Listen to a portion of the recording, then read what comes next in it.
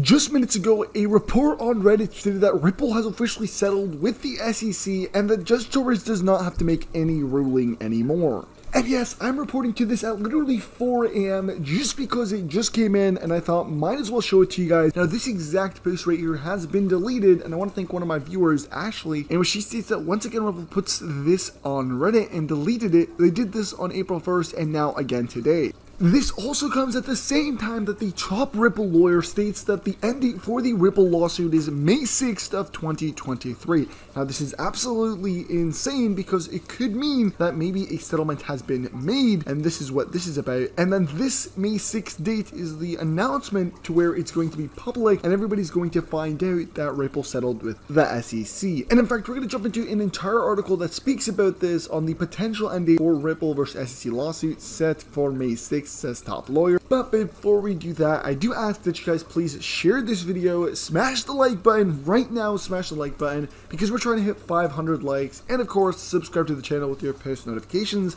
as well as drop a comment in the comment section below because I'll be reading and responding to every single comment. That being said, let's jump right into today's crazy video.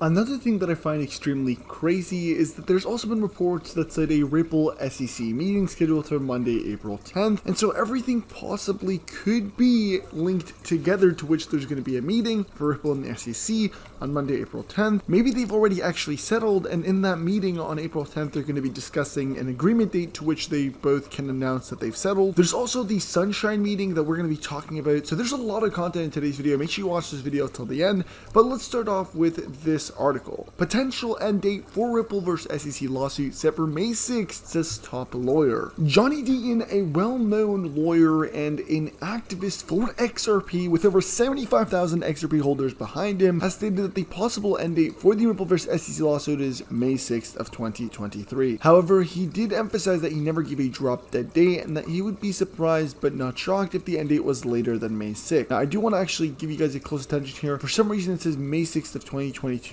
but again, this is some type of grammatical error because even if we look at this article here, it was actually posted on April 7th of 2023. And the tweet reference by Johnny Deaton, which is I never said drop dead date. There was a previous case where Judge Torres gave her summary judgment ruling 60 days after her Daubert decision.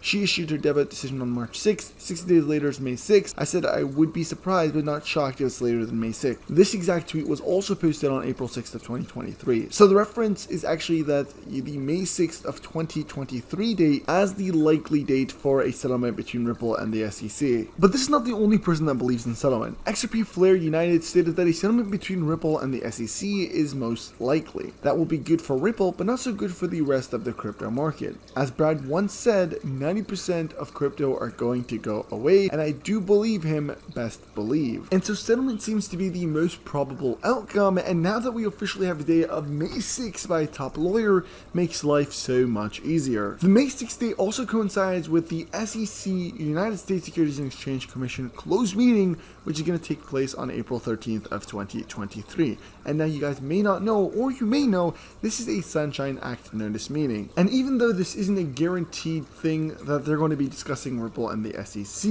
and the Sunshine Act notice meeting is something that occurs often throughout the SEC's calendar, this specific date of April 13th coincides perfectly with all the dates of possible settlement. In fact, not only does it coincide with the meeting between SC and Ripple on April 10th, and the May 6th settlement top lawyer statement, but the federal government is also going to be questioning Mr. Gary Gensler on the 18th of April. And so all of this could be happening in which they go ahead and actually discuss Ripple and the SEC and how they can resolve this lawsuit, or at least how can they announce this lawsuit to public if they have already completed a lawsuit agreement or settlement agreement? Of course, keep in mind that the subject matter is going to be settlements, so that is a very likely possibility to which they're going to be discussing how can we resolve the lawsuit if we haven't, and if we have, when are we going to allow the non-disclosure to end so that we can disclose that yes, we have settled with the SEC or yes, we have settled with the... Now, before we further into the video, I want to remind you guys at MetalCrypto.com, where you can buy your own personalized Metal Crypto coin, like this very nice Ripple XRP coin with case and the new style XRP coin with case. They actually come in gold and or silver, so you can decide that one and choose which style you actually like. There's also a bunch of other crypto coins like USDT, Stellar XLM, Shiba Inu, Cardano, Polkadot, Ethereum, and a load of other cryptocurrencies. So make sure you guys do check them out, metalcrypto.com, and if you do use the link in the description, you're going to get yourself 10% off. That being said, let's get right back into this crazy video. After doing a ton of research, I uncovered this statement by the SEC chairman Gary Gensler back in 2018 in which he said that you can use blockchain, but you need a bridge currency in between, and that bridge could be a stable value that's backed by the US dollar or the euro, or it could be a currency like Ripple has as an alternative. In this statement, not only does he talk good about Ripple, but he states the fact that number one, it's going to be a stable value for XRP, and that XRP is not a security, and he deemed it as a cryptocurrency, comparing it to the US dollar and to the euro. So BitBoy, also known as Ben Armstrong, has just dropped his crazy XRP price prediction, and even though we may disagree on the exact price of XRP, I'm going to go ahead and roll the clip for you guys so that you guys get to hear what he believes the price of XRP is actually going to be in the short while. So, of course, let's roll the clip. Let's get serious here. XRP, this sure. coin has not made all-time highs since January of 2018. It's been yep. memed. It's been made fun of. Community's been made fun of. We're all stupid for believing. Are we stupid for believing in XRP? What price prediction can you give the XRP army to make them feel like they don't want to jump off a bridge? Thank you. Yeah, for sure. Uh, first of all, if you're in the XRP army, put the X's up, put the X's in the chat, X, Y, and Z, and don't jump off a bridge. That's step number one. If you want to see XRP get to its all-time high, you have to stay alive. That's that's the first part of this whole thing. Secondly, so I did some extensive research. I went on several, several, 10, you know, probably more like 20 different websites looking at projected XRP um, price predictions yes. for the top of the bull market, which is pro- projected to be, you know, November, December 2025. Fair.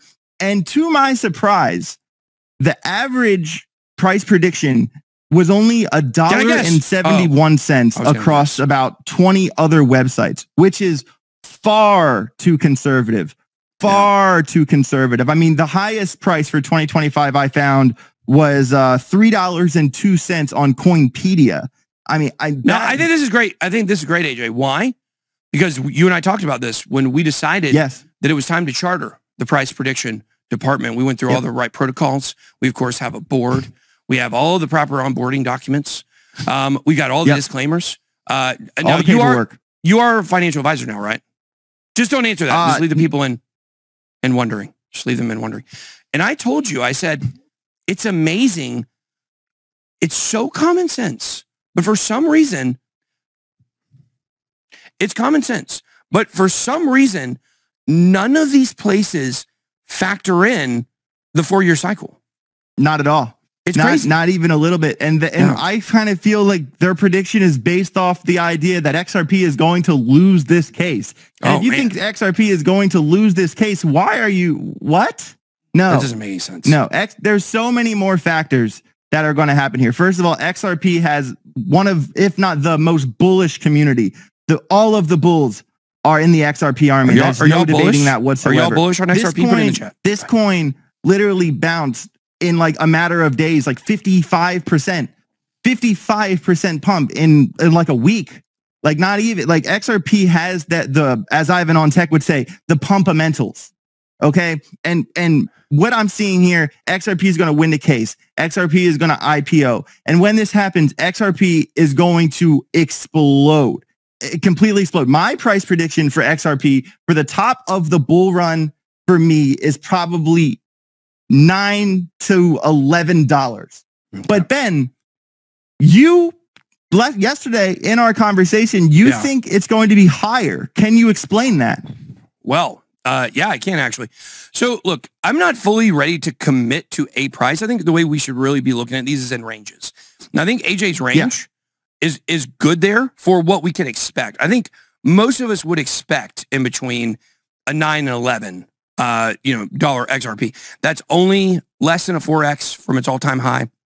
Um, it didn't get the, the all time high last time because of the suppression. So I think it's set up really nicely. The chart's looking really bullish. And this will make new all-time highs, which means it's got to go at least probably to $4. And it's not going to stop there, I don't think, if this case is over. So in my opinion, you have two outcomes here. One is They win the case. It's a settlement. They get some kind of bad stuff on them from that. Maybe they're not able to IPO right away. Uh, maybe the company itself has to, you know, do some steps to pay some penance, but maybe not. Maybe they win outright. If Ripple wins outright and there is no appeal, by the way, there's no appeal. They just went outright. And then Ripple announces after the after Coinbase relisted, of course, that they're going to IPO in the next one to two years. They should wait until the bull run. If they wait Oh, yeah. until the bull run to IPO as well, they do it next year, maybe right after the halving, it might be great. But look, I mean, I, I stick with what I said last year. I mean, or, or for the last uh, bull run, excuse me. I, I think it's, I think $25 is not out of the question. I know it's high. I know it's high.